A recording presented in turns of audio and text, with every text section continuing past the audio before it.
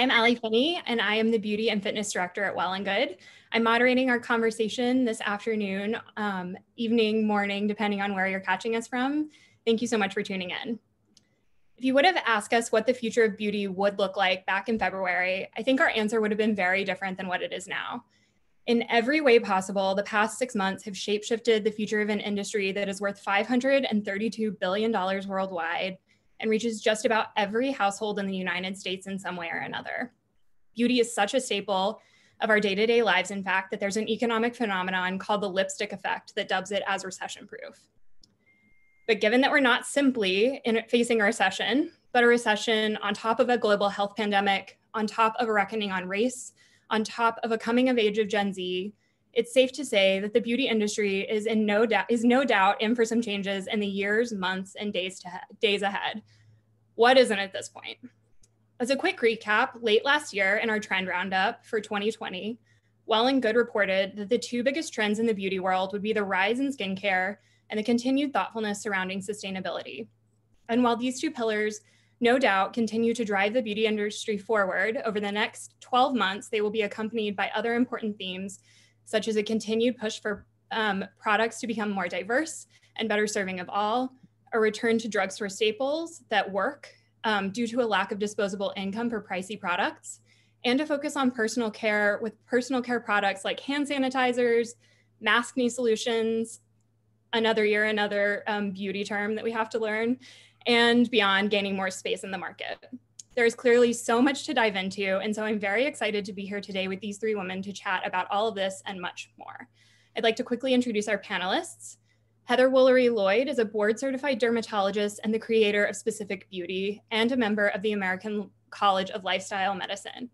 Dr. Woolery Lloyd's quest for cutting edge research on aging led her into the field of lifestyle medicine, a medical field that emphasizes evidence based lifestyle interventions to improve overall health and wellness.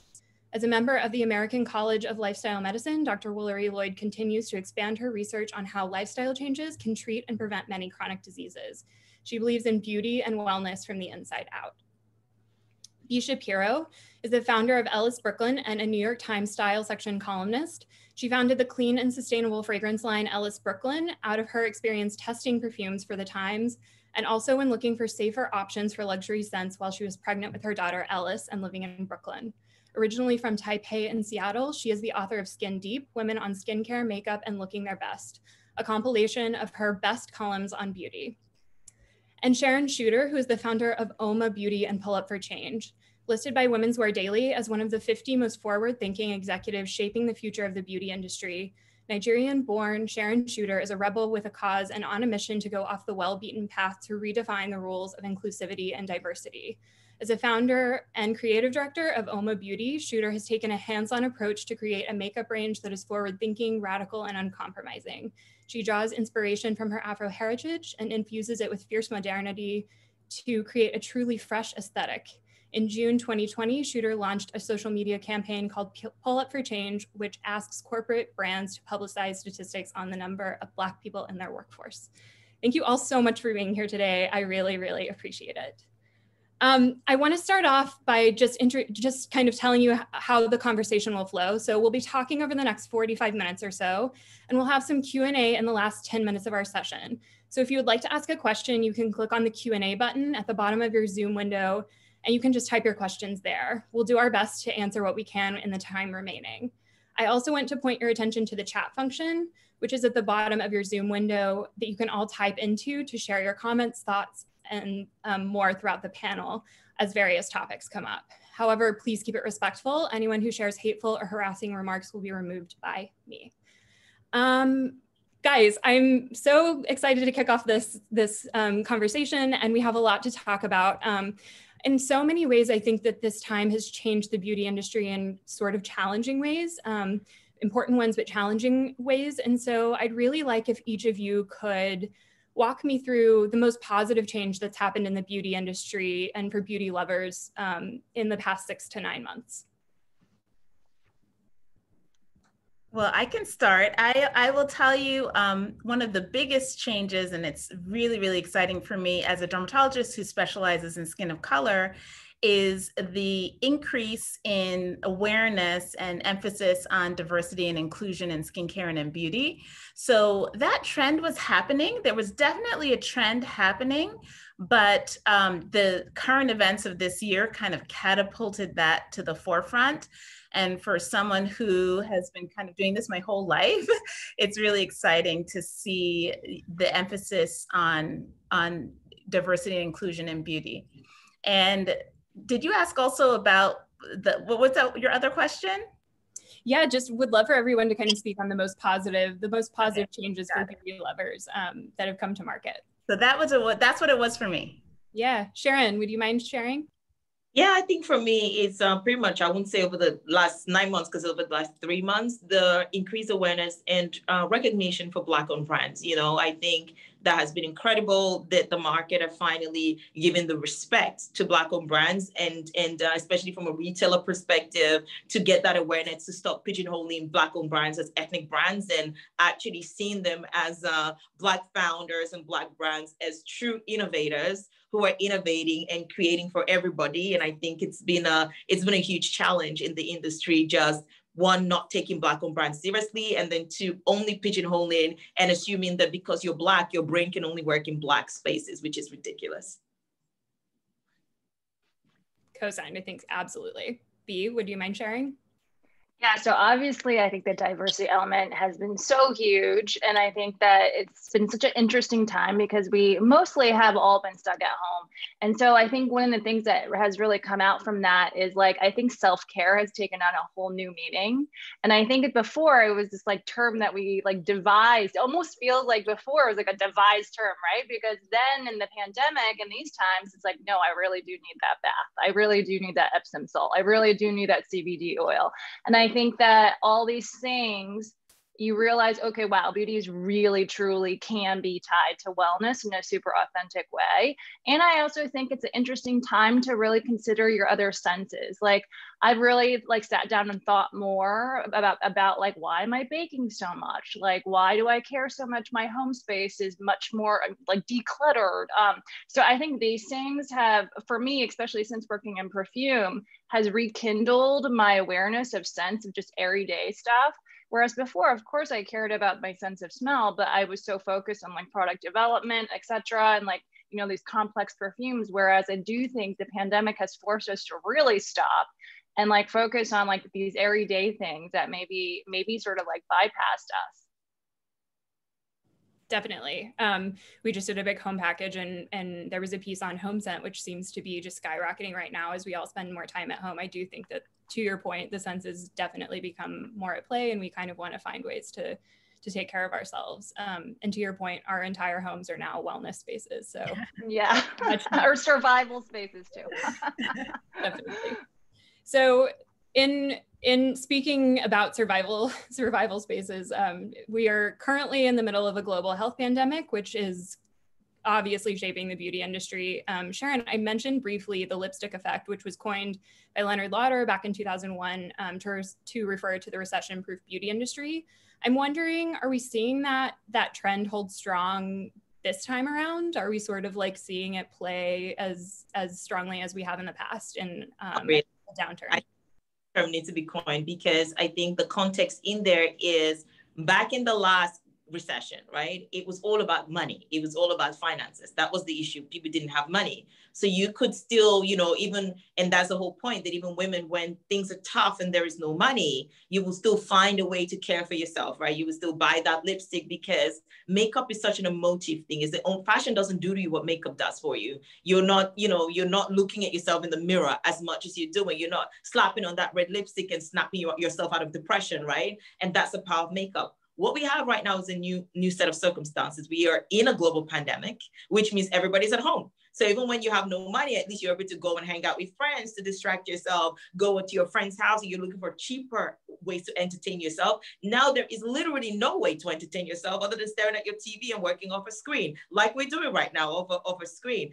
I mean, look at how much part down I am. And if I was attending this event in real life, I would probably have a makeup artist who's gonna glam me and my hair is gonna be all done. So right now is the fact that there's a lack of occasion. That's the problem we have here. It's not just the lack of money. Yes, lack of money is also there, but it's compounded by a lack of occasion, lack of social interaction. It's like buying a dress. Who's buying a dress? What are you wearing it to, right? But everybody's gonna buy activewear right now because it's more time and, and more casual wear. So I think this is a different set of circumstances, and that's why the lipstick effect is not in full force. People wear masks, masks ruins your whole makeup. Um, even when you you even have an occasion or you're trying to leave the house, you still have that complexity that you're gonna feel really yucky if you put on a mask and after putting a full, full face of makeup. So I think right now that's why the makeup category in particular is really struggling and it's really hard hit because there are just no occasions for people to go out and, and look glamorous. Um, and even when you have those occasions to go out, you're limited that you have to wear masks. Even the celebrities that did the Emmys, look at look at all of them, right? So all of that is gone. And I think that the lipstick effect is not relevant for this moment in time. We have to find a different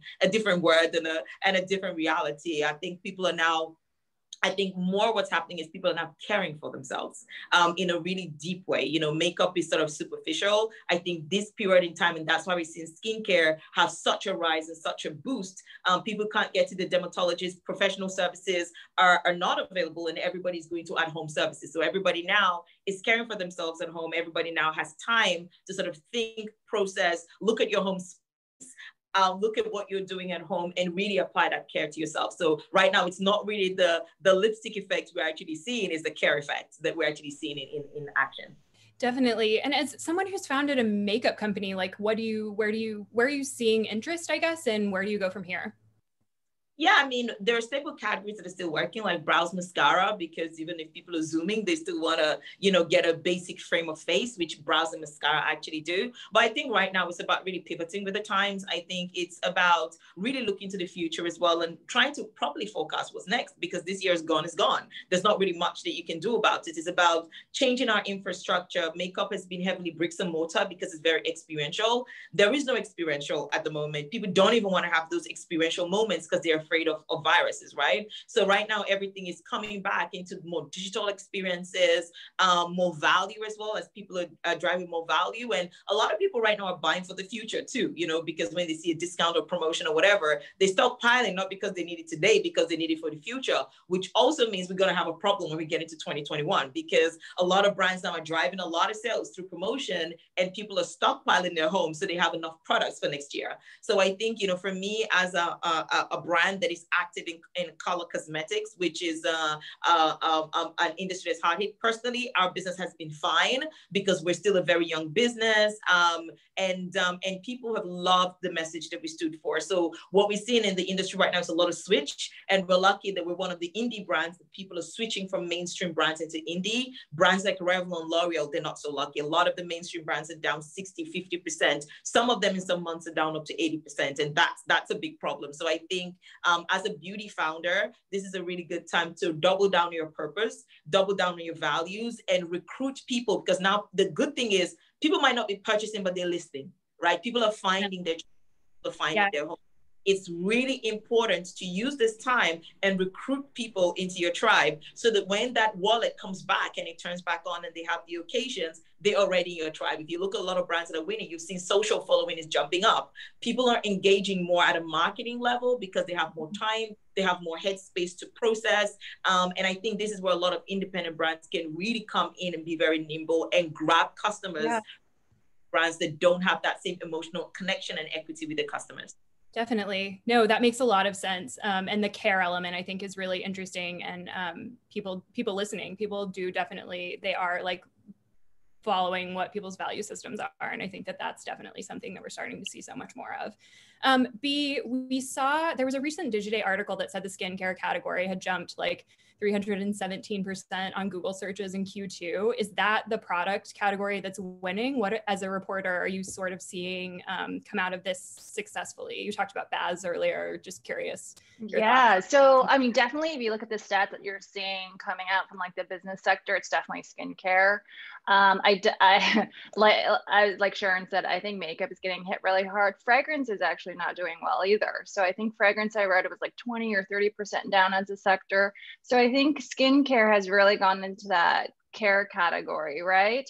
And I, I'd be curious to know, I mean, if we really broke it down though, like what, how much are people spending in skincare? I'd be curious to know, right? Because I feel like, I feel like a lot of people might be searching for that like 20, $30 skincare item now.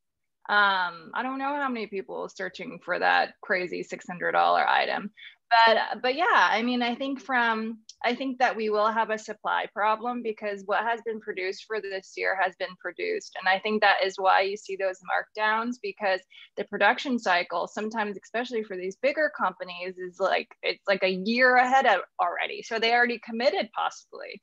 And so we will see still a lot of the products that might not be suitable for pandemic time still hitting the pipeline. And then eventually you'll see like a change and then we'll see what happens you know Oops, that was going to be one question that I ask um, in terms of what the future, what the future will hold for the beauty industry in the next like year or so. Like, do you think that we'll see an uptick in products, um, or do you think that it will hold steady? What What's your call? I think for I, I think it is a better time for an indie brand than it is for a bigger brand. But even for an indie brand, I think we have to be careful about what sort of products we're committed to launching because I think especially today, like it seems really disingenuous to be releasing something that that's not super passionate or has a real story or has a real purpose behind it, right? Like we're so busy, we're so stressed out. And can you imagine just getting like, okay, here we go, another lipstick line? You know, like it almost feels like tiresome. Like there's so many other things that we should be looking at. So because of that, every single launch has to be that much better, that much more passionate, that much more. But because you already have, you know, you to commit to production at least eight months in, in advance, you're gonna have all these launches come out, and then what's gonna happen? You know they're going to have to go on sale like sharon said people might stockpile but also the the customer might get trained on just buying at discount you know there's also there's all these things like uh-oh you know like what's going to happen um, that I don't think has actually panned out yet, right? Because it's been six really? months. It feels like forever, but it actually hasn't been forever yet. So I, I think it'll be a really interesting holiday season especially in the US where we have the election, the super fun election. so um, I think that will definitely affect things. And, and I just think there's a lot of like, and I, I have, I have, I'm friends with a lot of founders and we're all talking about how there's this sense in the market now and our ecom, et cetera, everybody's kind of like holding steady. Like we gotta like dig our fingernails in and just be like, oh, I don't know what's gonna go on. Uh, whereas early in the pandemic, I do feel like people were stockpiling more because they're like, oh, well, this is going to pass. I just, I mean, I'm going to consume, consume, consume while I'm stuck here. I don't think that's the mood anymore. It does sort of seem like um, maybe things are going by way of less is more as of late, mm-hmm. um, just in terms of, you know, some of the, the trends that we sort of see as we're reporting out stories. Um, which I think dermatologists, Dr. Dr. Woolery Lloyd would probably be quick to tell us is not so bad for skin. Yes, I mean, I'm a big fan of less is more. That is something that I've always preached to my patients because, first of all, people are more likely to stick to a simple regimen. And also, I work at a university and I do a lot of clinical trials, and I always emphasize that effectiveness or efficacy is not determined by the price tag. So um, I love this trend. I definitely think we're seeing a trend where less is more, and that people are recognizing that products that are affordable are also extremely effective. Dermatologists have known this for our entire careers, but I think that now consumers are kind of seeing, hey, you know, I may not have to spend $300 on a night cream. Like you know if you have that money great but if you don't there are equivalents at a lower price point. Definitely. Um, i'm curious to talk just in digging into the, the field of dermatology a bit. Um, it seems like telehealth and telederm in particular have really taken off this year. And um, i'm curious if you think that this will really open up um, accessibility for the practice which has really kind of notoriously been a bit exclusionary. I think we could all kind of agree on. Totally agree. Yes, um, this is that's such a great point. So telemedicine has taken off in dermatology. Um, we're one of the few medical specialties that telehealth is really perfectly designed for, especially if we get high quality pictures in advance. Telehealth can't replace a full body skin check. It can't replace evaluating a suspicious mole because we do really kind of need to see that in real life. But for things like acne and rashes hyperpigmentation, um, certain diseases, telemedicine is perfect for derm. We've definitely seen a huge transition. Most practices are now hybrid. I'm actually back in the clinic full time. As I mentioned, I do clinical research and I also see patients. So I currently am not doing telehealth, but I am planning to try and add that back in because there's a need. Now that patients know that that is an opportunity to see a dermatologist. You don't have to wait in a waiting room for an hour. You don't have to take a half day off from work. You don't have to drive through Miami traffic. You don't have to do any of that. You can literally do it, you know, on a 10 minute break from your regular day. It's um, for many, many people. I've just been getting requests after requests. When are you going to start telehealth? Um, I was full telemedicine for the first three months of the pandemic. And then when offices opened up, I went back into the office. But I would say most derms in their practices are doing a combination of both and at least having telehealth still available. And I think it's great for both sides, both for the derm and for the patient. The only issue for the derm is we do need high quality images because it's very hard to evaluate something on a grainy kind of screen. Definitely. And it does seem like with some of the laws that were passed during COVID, it makes um, people who are maybe in rural areas or in areas yes. cities that don't have um, derms easier to access one, right? Yeah, and that was when teledermatology came to be. That's where it came. It actually originated in the army because people were out in all over the country in rural places or even overseas.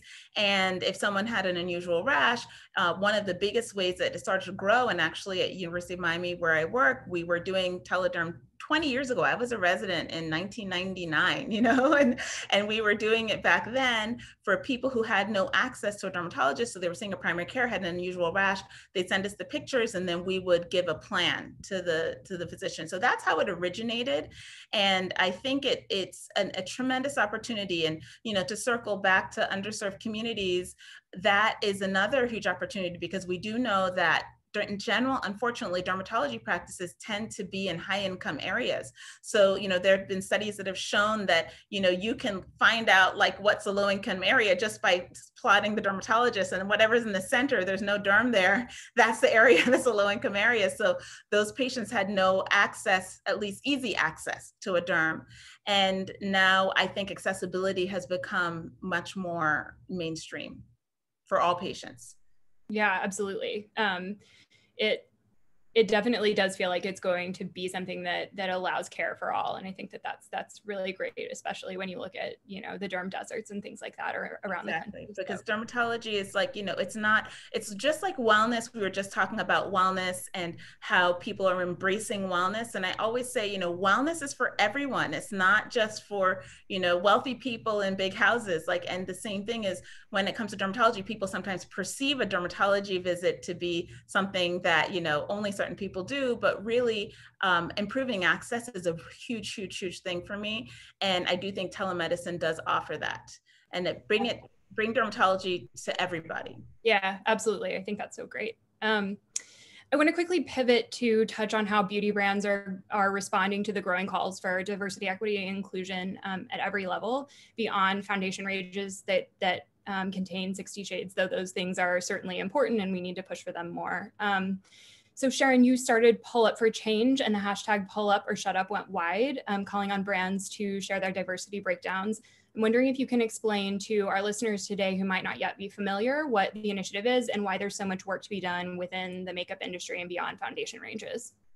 Okay, so um, Up for Change is a really grassroots call to action um, that really started, you know, for me, it's, it's sort of uh, the, the catalyst to actually getting to Pull Up for Change was the Black Lives Matter movement after George Floyd died. But really, I've been speaking about this for three years. Everybody has been talking about the lack of inclusivity in the beauty space from a product perspective, but I thought they're all looking at it from the wrong perspective and the wrong angle, right? Because the reason why the output looks like that is because the input is wrong. You know, these companies are not diverse. Most product development team don't even have any form of diversity. I mean, that's the second layer we need to get people to pull up with, right? So, so essentially for those who are not familiar with Pull Up or Shut Up, it was a call to action to corporates to release their diversity numbers. We know that, you know, not everything that can be measured can be changed, but when you measure something and you start looking at it seriously, it starts giving you, when you have that data and that benchmark, it starts giving you a pathway to actually start driving change. It also brings this information to the public, which means that the public can hold brands accountable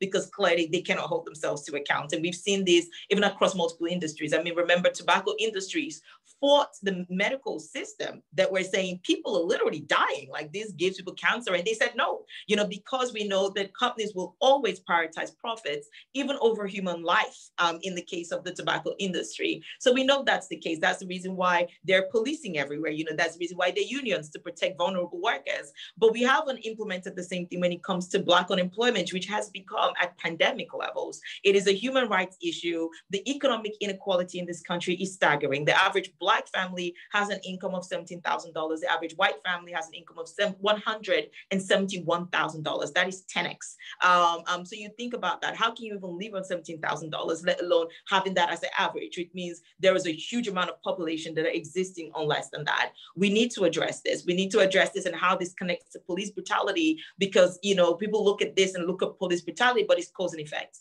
So when you look at the issue about Black unemployment around the world, it is, it is causing so many issues because of the economic disparity, and in the context of beauty is the reason why the products you're seeing out there look the way they look. So when you're screaming for more inclusivity in products, you're asking the wrong question. You should be asking about the makeup of these organizations because you cannot ask people to fix a problem they don't understand. I don't know what it feels like to be a white woman, right? I can only read and research at best. The only reason why I can innovate for white people is because I have white people around me, right? And my company, I employ white people. So if I came from my own bias and said, oh, white women have, they can tell me straight away, no, I've never seen a white woman that has that. So imagine the reverse when you're trying to innovate for a customer that you've never even interacted with, you know, other than you see them in the movie or you see them from a distance, right? How do you understand? So at best, all you can do is a panel study. You get four people together in a room, four Black women, and ask them over a two hours uh, time period all the questions you need. How can you compare that to when you're sitting with somebody who I'm Black, my mother's Black, my sisters are Black, you know, I can give you more, more insights than you will get of a six month research, right? And this is the challenge within this this industry. It's an industry that in the back end is not inclusive, which is why we've had to drag the industry by the teeth to even create products that caters for an inclusive audience. So you think about it, if you have to beg a business to go get more money, think about this, that when you're saying create inclusive product, you're essentially begging a company to do what's their fundamental job, make money, right? And they're so adamant, yeah, I don't want to make that money. It's fine, put it away. And the industry has had to be dragged through the mud to even get to the point where they're interested in making the money, right? And I think when Fenty came out, what it showed the industry was that it was commercially viable because there had been a myth for the longest time that the black shopper or the shopper of color did not have money. It was not worthwhile, wasn't worth the effort. When Fenty launched, the dark shade sold out in Manhattan, they sold out in the Bronx, they sold out everywhere. And the industry for the first time were shook and it really stood back and we're like, okay, the appetite is there. How can I go get the money? And ever since they've been getting it wrong. So I think where pull up for change comes in is really advocating in terms of you know firstly this is a human rights crisis but secondly diversity is good for business. That's why it makes no sense. There has been research done. Bain did a research about four years ago and the data showed that companies with more diverse teams outperform ones without diverse teams by 19% so the commercial argument is there. It's that if you have diverse teams you will make better products. You will make products that are representative of the world that we live in, right? This is not about dragging people. This is actually about helping businesses be better and be stronger. And I think um, that's why we started this movement and put it out to the consumer because there is so much a consumer doesn't know. And even right now, we're still being tamed in telling them a lot of things because some things they can't even handle. They can't, if they know the amount of quote unquote inclusive brands that don't even have, you know, that are making for Black people that have never tested those products on Black skin, they will be flabbergasted, you know, in terms of the kind of half-assed and half-baked effort that it comes to, you know, people now want the dollar, but they don't want to go in there. And I think what's beautiful is time after time again, the Black community have proven the world wrong. If you remember in the 90s where rappers started wearing um, on luxury brands, the luxury brands, the designers would write to stylists and write to the rappers and say, do not wear my brand. Can you believe that? Do not wear my brand. Take it down. And um, they, they, even though these rappers were buying this product, nobody was styling them at the time. They were going out there buying Gucci, buying, and the designers were saying, "Don't wear my product. You're cheapening it. This is not the image I want." And they were adamant the urban consumer was not a viable consumer. How wrong were they? Fast forward to 2020, Louis Vuitton are gathering Virgil Abloh to go become the head designer. Balenciaga has essentially converted into a streetwear brand. Almost all the main brands now are trying to tap into that urban, that street vibe because it was extremely viable. Look at the same thing happened in entertainment, right? Entertainment, MTV refused to play Black music. You, they would not play your music just because you're Black. Michael Jackson was one of the first people, and even Black artists like MC Hammer, when hip hop was trying to go into MTV, had to do gospel hip hop essentially. Like, you know, we gotta pray. I mean, like, yo, what is that, right? Fast forward to now, what is the biggest genre of music? Hip hop, not rock and roll, right? So every single time the Black consumer has proven the market wrong. And this is another time again. So I think we're really seeing a seismic shift. We're seeing a moment again in time because once again, the beauty industry always so slow to actually catch on to that. What's powerful about the Black consumer it's not just about their spending power, but because they drive culture and they drive trend. And that's what fashion discovered and that's what music discovered, right? And that's why it's so pivot. I mean, Travis Scott, everybody now is getting a deal, right? Everybody is pivoting on rappers like nobody's business. And this is where I think the beauty has missed the mark. And, and that's why this moment is so important. But for me, I didn't want them to just focus like those industries that instead focus on exploiting the Black community in terms of using Black faces, but not giving, you know, not paying them properly, not giving them a seat on the table. Look at entertainment where Black artists drive the whole industry, but where are the Black executives? Where are the Black people in boardrooms in, in, in this company? Same with fashion. Adidas, Nike profit so much from Black culture and Black people. Where are the people? Where's the diversity? 77% of their numbers are white, right? 77%, way above the national average of white people uh, um, in America. So this is the real focus to make sure that in beauty, we don't do the same thing. And the pull up for change extends beyond beauty. I mean, we've called out Nike, we've called out a lot of those brands to make sure that for the brands who are already profiting of Black people, people, you are giving us a seat on the table. We cannot continue to buy where we cannot be hired. And that's the whole point. So we must be hired. Capitalism has to go full circle. And that's the objective of our campaign it's amazing. I think it's so amazing what you've done and um, just really the accountability because it does need to change and so much needs to to progress and get better. So absolutely agree and and so glad that it's something that you a movement that you started. Um, Bee, I'm curious as a as a reporter um, for such a long time, you've you've reported on beauty. In what ways do you think the market still needs to really push forward? Oh my gosh, so many ways, right? I think that, you know, I, I did, Sharon, I actually wrote a story about um, when the Fenty 40 colors came out, and then every single other beauty brand decided they need to put out 40 colors, right? And some of the 40 colors were like still all in the medium shade range. I mean, it was like, it was a hot mess you know, everybody was like, ah, oh, I gotta go do that. 40 became the new standard, but the 40 was like a, a gazillion random colors. It wasn't even in the deep range. It was like just all over. Maybe it was like 10, you know, fair colors now suddenly. But um, but I think I think a I think the diversity issue is really really complex because so in fragrance, for example, there's almost no diverse perfumers.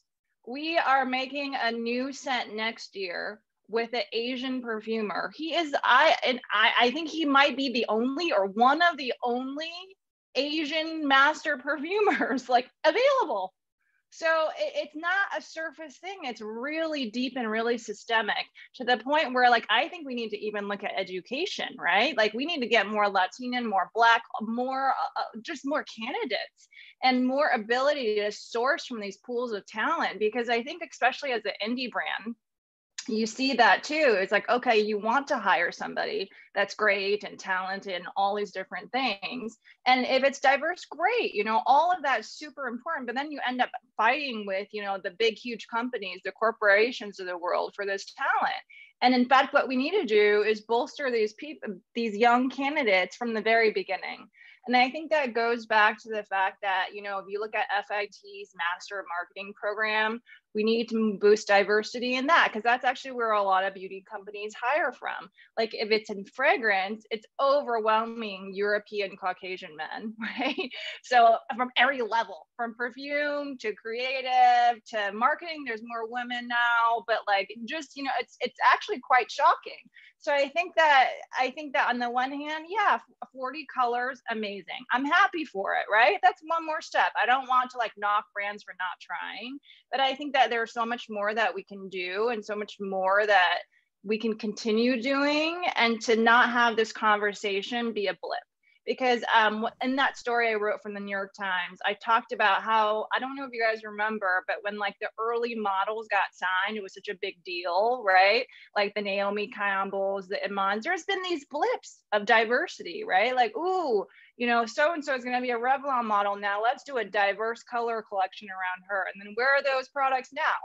So that's what I don't want. Is I don't want this to be a trend, right? Because it's not a trend it's it's there is all the these you know amazing studies that do show that yes you're right diversity is is not just a trend but in fact is integral to an to a successful company today so i think those are the things that we really have to be aware of and also the other thing that i feel like um, because I, I do spend so much of my life on social media now before, but definitely more during COVID. I think that one thing that something something needs to change about the tone of social media today. And I say that as a person who's watched social media and beauty from the very beginning. So I have a funny story. So I started covering social media backstage for Fashion Week. I might have been the first reporter to do this. Before even Instagram existed, I covered for the New York Times shooting grainy photos on Twitter and on Vine. Vine, which doesn't even exist anymore. and I remember in the early days, social media being really positive and really about authenticity and really about um, this new way to look at beauty, this refreshing way. And I think that you know all these movements that we see happening on on be, in beauty whether it's on social media and real life etc i think that we have to be really careful and make sure that it's positive change that we're pushing through make sure it's not just like we're being bad cop and yelling at people and calling out brands. You know, I see that so much on social media now. And I'm like, yes, it is important to call people out, but it's also important to support them and be like, okay, this sucks. You know, you guys shouldn't be doing it this way, but like, let's move that forward and keep it positive. I'm seeing so much negativity. And I think that is also an outpouring of people being frustrated, you know, at home and like, or whether or not, you know, their, their own like COVID situation or personal situation, whatever it is, it's just this outpouring of negativity. I, I just really wish we could kind of like reel it back that original like spirit of social media as being this place to share, as this place to not be so filtered, you know? Yeah, yeah, definitely. Um, Dr. Lloyd, the medical field has to contend with this in just a huge way. I'm curious how you think um, the dermatology can can do this better, can, can diversify and really um, serve all skin tones better. Well, first of all, I have to say this is such an amazing conversation, and um, everyone has made such great points. So I'll say I, am going to talk about social media for 30 seconds, only because Bee brought up something that's I'm so passionate about because I do think social media can become this very negative space. I think that's one of the reasons why TikTok took off this year because TikTok to an extent has has a very positive vibe. and it's like it, it reminds me of, of Instagram a long time ago where you would go on and it wasn't a stressful experience. Now I feel like sometimes with social media, it's like it's so stressful and not helpful for our mental health. so um, so I, I totally agree with you beyond that. I just had to say that um, for someone who believes really in wellness, whole well, full being wellness, I think we have to be really, really careful on how social media has changed. But from a diversity standpoint, as a physician, um, things have gotten better, but there's lots and lots of room for improvement. So dermatology is the specialty that has the least representation of any specialty. So 3% of dermatologists are Black, 4% are Hispanic, which is way below the national percentages of Black and Hispanic patients or Latinx, um, Latinx doc, uh, people. So um, so we have a lot of room for improvement in dermatology.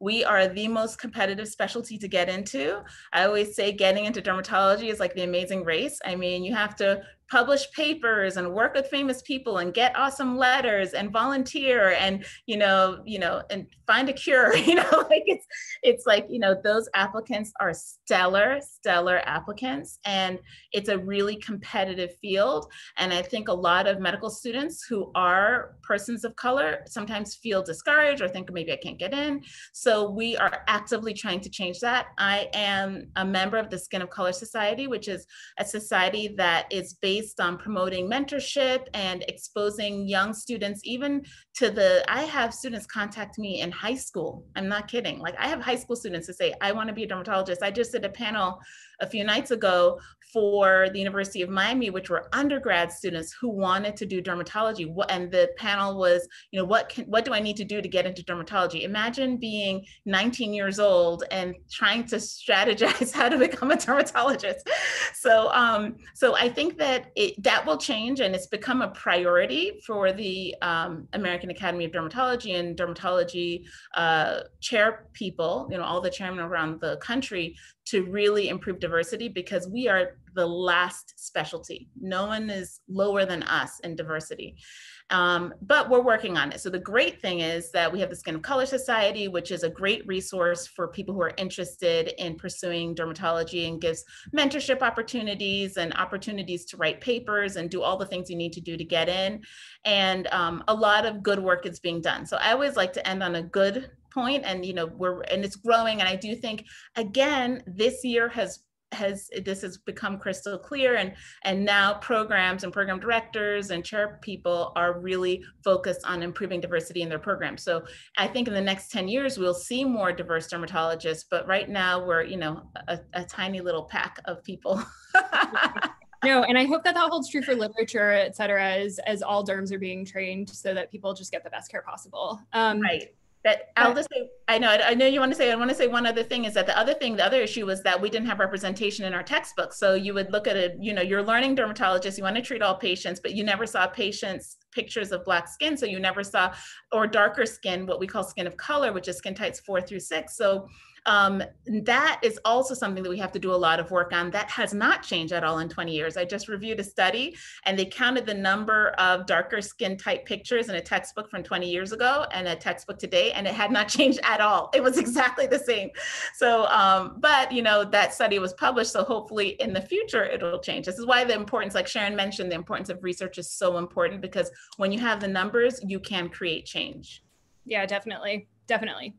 Um, I just want to be mindful of time, so I'm going to to push us forward to what I really feel like is the the kind of third pillar of what has shaped the past six months, and it's a coming of age of Gen Z, which um, it really feels like this is the first year that we're really feeling that in the market. Maybe as a brand owner, I'm I'm a few years behind, um, but as a reporter, I definitely am starting to see their their stronghold. Um, so from Hyram selling out on Sarah CeraVe on TikTok um, to Instagrams with with hashtag ad falling 37% year over year. I wonder if many of the themes we're touching on um, are also influenced by new consumers who buy with a purpose and a conscience and who care about the environment and who aren't looking for a shelfie when three products that cost 30 bucks will do. So can each of you tell me quickly just the, the ways you're seeing the market shift thanks, thanks to Gen Z's um, influence? Sharon, we can start with you. Yeah, I think, you know, Gen Z are an incredible generation. I think they're the first generation to truly put their money where the values are. And that's why we're seeing change. I mean, look at the beauty industry and cruelty free. That was not even a thing. Like, you know, it was all PETA crazy people loving animals, go hug a tree, right? And now every brand is cruelty free. It's become, why did that happen? Because of money, right? That's why I keep telling people if you want to impact any change at a corporate level, the corporate control, corporates only respect one thing, and that's the dollar. And if you can threaten that or take that away, they will make the change expeditiously. And that's what Gen Z have been able to use as a very effective tool because they are putting their money where the values are they're not respecting the values of their parents, which was more about affirmation, which is more about I'm going to buy a, a go go get a three hundred thousand dollar country club membership. I need to go buy the most expensive dresses to make make me belong. Gen Z have come up with a complete different strategy because they go like no, they have a stronger sense of identity. But at the same time, in selling to Gen Z, one must be mindful that there is a big conflict in Gen Z. There is also a conflict between who they want to be versus who they truly are because this is also also the same people who are having surgery at the rates that we've never seen before. Yet they're the same people who are talking a lot about identity and individuality. So there was a bit of a conflict. And I think it's because they're the first generation that are digitally native, right? And that's the conflict of social media. And when you're in digital, people are now having multiple personalities and personalities and are shopping for two personalities. So you can't even, you know, before we could classify people by age type and judge how they behave, you can't even do that anymore. So that's why I go like Gen Z are very conflicted kind of generation generation that the good part of Gen Z is that they are putting their, their their money where the values are. And the reason is because they've collectively said that's what we're doing right? We're all individuals. We don't follow the pack yet. They follow the pack even in doing that. But it's great. And i think continue. And I think the also flip side and the danger of Gen Z is because they've been born into this digital world and social media, which is the second advocacy that I have that, you know, there is an age you have to get to before you drink alcohol. There's an age you get to before you're allowed to gamble, right? But with social media, there is no age limitation and it's more addictive than any of those two things that I just talked about. And that, I think that other conflict is a result of social media because there's the social pressure, there's the, you know, to want to be, I mean, the most um, the in demand surgery right now is called the snapshots uh, um, surgery where people are young people are having surgery to make themselves look like the Snapchat filter. So I think the Gen Z are an incredible generation. They are the generation that are really going to deliver change because they're highly motivated. Activism is cool. It's not you know being being a troublemaker. It's actually trendy, right? And and so I think we have to take the good good from it. We also like everything in life. There's always two sides of the coin, and we also have to be mindful of the other side, especially as brands and having that responsibility on how we market to these people because they are not not immune to marketing, even though a lot of people try, oh, they, they see through it. They do, but they're also still young, right? And so, and so in being responsible, in being careful, but I love Gen Z because they are going to change the world.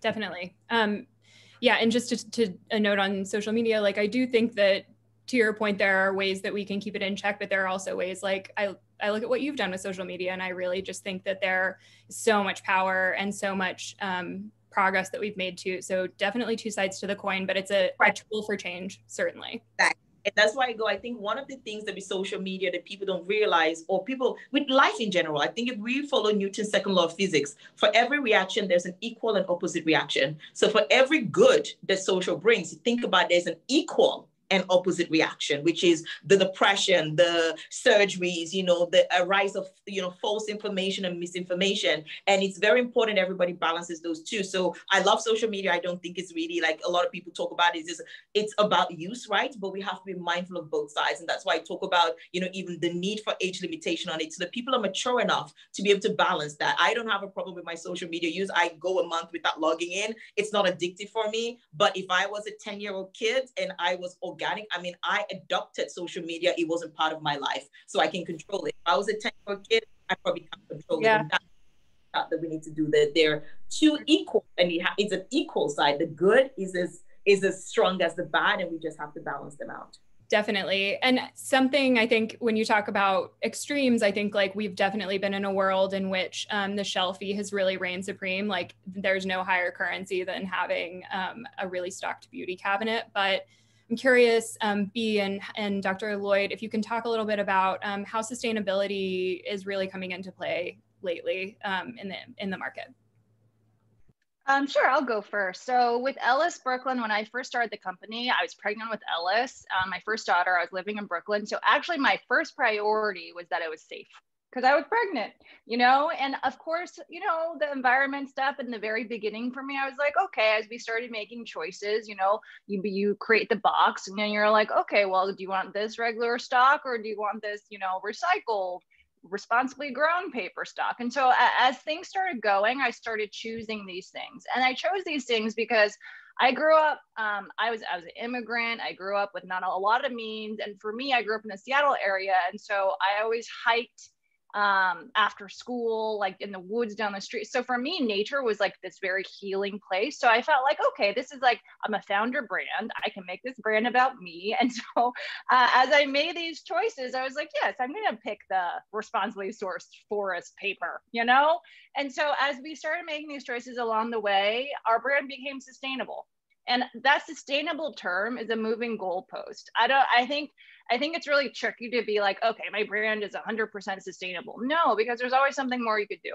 So that's something that's become very important to us um, from the beginning. And, and it was really sort of the growth story of how we you know, chose to make these uh, choices in Ellis Brooklyn. But as we move forward in clean beauty, I think that the sourcing of materials is going to be really important. And I think that is something that Gen Z, interestingly, actually has influenced more and more, right? I think that if you really look at millennials, whatever you want to call, I'm actually technically a millennial, if you can believe. I'm like the last year of millennial. I was like, I don't even look like a millennial. That doesn't make sense. Um, but but I think that it was very much about. I, I read a really interesting story in Bloomberg Business Week yesterday about the blanding effect. Do you have you guys know this at all? No. Oh, it's about. It's like literally. It's a hilarious article for those who are listening literally go read this afterwards. It's a great article and it's a little sat it's a little bit satire, but you literally, it's like how do you create a brand according to millennials? And it was like, you know, make sure your font is not too fancy, you know, like no serif font. Make sure you throw some blush pink in there. It was, it was a hilarious article and it was called the blanding generation or something, right? Um, for all of that, you know, you, you look at millennials, I think it's one era and then you look at gen z and you're like wow no that's actually not just an age group it's actually reflecting the time now right i'm 39 if i'm going shopping i care a lot more about price point now right maybe i didn't 10 years ago because the situation in life and stuff is different so i think when you think about Gen Z, you can also think about like what is the current circumstances right now we're facing. And yeah, I don't feel like using 10 products anymore, but I did maybe three years ago, you know, like back when like that K beauty thing was super sure. hot. I was definitely, I was definitely buying. I was like, yeah, I need that nine yeah. items for glass skin, you know? Not anymore. I think I might use two to three products. And I think that's just like I think there's one thing to say, okay, Gen Z's like that, but I think it's another thing to be like, let's look at society and what's going on, and that's also part of it, you know? Yeah, so I think a reflection. It feels yeah. like of of the times and of kind of where we are and what what's happening and what's going on. So I do take that point and definitely think that it's true for for all. Um, so that we get to a few, a few questions, I will ask my last question. Sorry to cut you off, Bee. Um, no, no, no. I just I very much like have want to get um, to this forward looking question, which is in a few words, could you tell me what we have to expect in 2021 from the beauty industry? And then we'll open it up to our, pan- our um, participants. Who wants to go first? Oh, me? Yeah, you. um, so I think for 2021, I think we're really going to see, especially indie brands, I think, come out with really amazing products. I say that because I can feel, you know, speaking to other indie founders, I can feel like when you're releasing something now, it better be good because it is a scary time out there for all businesses. And if you're going to release something, it's got to come from in here. It's got to come from somewhere where you're like, I have to release this. Whereas maybe before, you know, talking, you're talking to your retailers, you're like, okay, well, I need to fill out my assortment. You know, I need to like have a couple extra products here. I don't think people are doing that anymore. I think it's like every product you see is going to be like a lot of oomph. At least the good indie brands, I think. Yeah, I love that. Um, less is more, and kind of keeping with that mindset that we were just talking about. Um, Dr. Woolery Lloyd, would you mind sharing? Sure. I think that um, the two biggest trends I think that are going to happen is one is AI, artificial intelligence, and that tech aspect in beauty. So I'm seeing it now. One of my good friends actually just launched an app that helps dermatologists um, do dilutions for toxins because every toxin has different dilutions. So it's an app that you can quickly look it up and pick the dilution that you want. So I think apps in beauty are going to become bigger. They they've started. I actually gave a lecture on apps in beauty in February when I was able to go to Paris, and um, now I can't travel. But it was like really hard to do that talk because I had to do a lot of research. And I bet you if I give that talk a year from now, it'll be dozens and dozens and dozens of apps.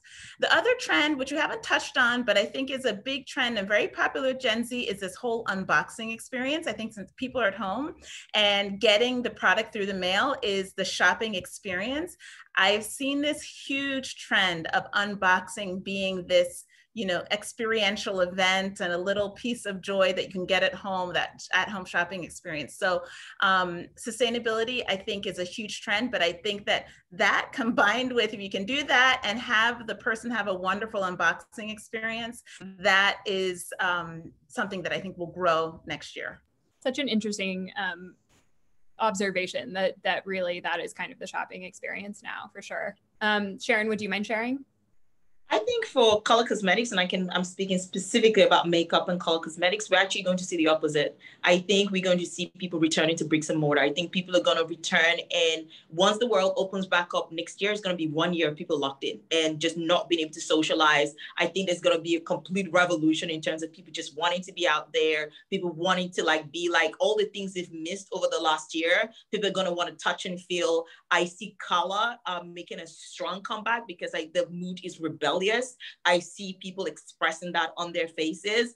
Um, I do see that they're going to have a simpler lifestyle at the same time. And that's the dichotomy that we're going to have to uh, uh, reckon with next year. Um, I think color cosmetics is really going to struggle despite people thinking it's going to come back for many reasons. I mean, the entrance of celebrities is, is going to decimate the category, same as it did fragrances. And because uh, right now there's a huge celebrity cash grab and every man in he, on his planet who has a face is releasing a makeup brand because the barrier to entry in makeup have now become so low and there is so much investment being pumped. Now retailers are only reserving their space. So i think unfortunately in skincare whereas innovation will be a key in 2021 i think innovation is really going to lack in in that this space because the true innovators are just not going to get the breathing space and also the voice because it's going to be hard fought. And like i said retailers right now are only backing celebrity brands. Investors are only backing celebrity brands because it's a quick win and as such it will decimate the category and it's going to take some time to come out of there so unfortunately, I don't see for makeup um, in 2021 a lot of you know like um, excitement as in skincare. I mean, skincare is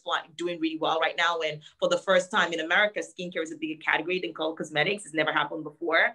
Um, so I see that uh, color cosmetics has some real big challenges coming in front of us. One driven by celebrities, which is going to drive a lack of innovation because all the celebrity brands are churning the exact same thing and just repackaging them in in different packaging. So that's going to bring a lot of problem um, into the industry. We're going to see the um, customers want to return back to experience. What we're also going to see is a flip in um, I, I, I, feel like, um, and we're already seeing that at the moment, um, people are going to be more regional than they've been global, which means that a lot of flagship locations are going to struggle and a lot of like more regional at home as people want to be with community are actually going to flourish and people not wanting to go as far. So I think travel is going to have a problem where people are now just used to not traveling as far. I don't think that habit is going to break. So I think even retail, a lot of store classifications are going to shift because you're going to see people going more to their local stores than doing that massive trip just to get to that big flagship store. And as such, retailers will respond by renovating and making those local stores more homely so that people can come they congregate and congregate with friends. So uh, my insights are completely different, but that's really what I see for my. Yeah, no, that's interesting, and it probably gives many indie brands like an advantage um, that have been like in local shops for for years and years. So definitely hear that. Indie brands gives give indie brands space to to to breathe, yeah. but yes, yeah. Absolutely. Um, we have time for probably one or two questions, so I'll quickly um, quickly get to them. Um, Rachel wants to know, after taking the first step of recruiting and hiring non-white employees, do you have any tips on how to build a company culture that will foster the newly introduced diversity? Sharon, I'll kick that over to you. Yes, I actually think the first, like look recruiting people because people don't understand the damage it does when you I, and this is why I have a lot of companies coming to me right now go I apply I put my role out there no black persons apply. And I'm like why would they? I was working in corporate I left. Like many black people who are entrepreneurs right now because the cultures are really toxic so I think the first step, because recruiting and that mad rush to recruit really just helps to tick the box so that the data looks better, right? It does nothing for retention. It does nothing for really fostering that culture that is a place and people don't understand the amount of microaggressions that Black people face in the in companies, the lack of mentorship, the lack of sponsorship. We know that 77% of leaders would pick a successor of their race and gender, which is why it was even a struggle for women to actually progress within corporations. So I think that the where it actually starts is looking at that culture. Um, firstly, take your HR handbook and everything and flip it all over, start it all over again. Everybody's copied and pasted the same HR handbook for, for the last 20 years. We need to look at it because there's a lot of practices there that are extremely discriminatory. We need to look at creating forums where people can speak freely. And most importantly, we need a culture that is a shared culture The problem with corporate culture, same as 10 years ago, 15 years ago, corporate culture was a boys' culture. Now corporate culture is a white culture. Um, it is not a shared culture. It needs to be a shared culture. It needs to not be defined. Every company, oh, this is my company culture. And I, when I tell them outline what it is, immediately I'm like, oh, the capacity of that culture. It is a very white culture. So I think brands need to start, or companies really need to start looking at themselves. I would say the first step of what to do is look at leadership. Everybody tries to start at the bottom, no, start at the top. Everybody sort of feels like their CEO is immune to racial bias. That's bullshit. Everybody has biases. So I think it starts from the leadership team, firstly identifying their own biases and how it impacts the company, starting to fix that. Um, starting to bring strong leaders of color into that leadership team and not by recruiting from outside because that's lazy, right? It's very lazy, especially when you have people there. You want people, other people who have already groomed. Why would they come to you? So groom your own talent, bring people to the top, uplift them, elevate them, and let them speak. Don't give them a ceremonial seat, chief diversity officer. Give them a real seat that matters and um, empower them to actually speak up. And through that, you will start getting the answers because the answer for every company is very different. And I know everybody's wanting somebody to just give them a handbook so they can look at. I think why one of the reasons why this is such a big problem for companies is most problems they can throw money at. This is a problem that cannot be fixed by money, no matter how much money you have. It has to be fixed by firstly, everybody checking their biases, understanding the impact of those biases, listening to other people, from the leadership level and then start rolling that into the organizational culture. Essentially, if you answer this question, how do I want to be treated? Black people are human beings. We're not a different species. We didn't fall off the uh, off a spacecraft and just came down here that everybody's trying to understand. I am exactly like you. I want to be respected in the same way you want to be respected. So just thinking about that and putting that in the forefront. What are the common courtesy? You know, when I was in corporate, oh, you can't wear braids. If I told you as a white woman, you can't have your hair blonde, it would be offensive to you, right? So it's the same thing. There is no difference in that. Or, oh my God, your food stinks. If you are eating and I walked up to you and said to you, your food stinks, you'll be offended by that. So it's it, it's not complicated. It's just treat the next person the way you want to be treated. You want to be fostered. You want to be recognized. You want to do something and people say you've done a good job and people not overlook you because of the color of your skin. You know, so all of these things is not really complicated to be honest. And that's why I go start with the culture, start with building, even though it doesn't give you a quick win so that you can post a report tomorrow and go, I have more black people, but create that because then in the phase two, when you start recruiting, firstly, people will come because they can see the change. And when they come, they're going to stay. And that's the critical part of it. I couldn't agree more. Um, and I think that is an excellent place to um, end our talk today, though I wish we had many, many more hours because you guys are um, fascinating. And this is just, you say fascinating things, and this is my favorite topic. So um, thank you again for joining. Thank you for tuning in. Um, and here's to hoping that, that 2021 brings um, lots of lots of good things for the beauty industry. Um, I'll take I'll talk to you guys later and thanks so much for tuning in. Bye everyone. Thank Thanks, you for having me. Thank, Thank you. you. Bye. Bye.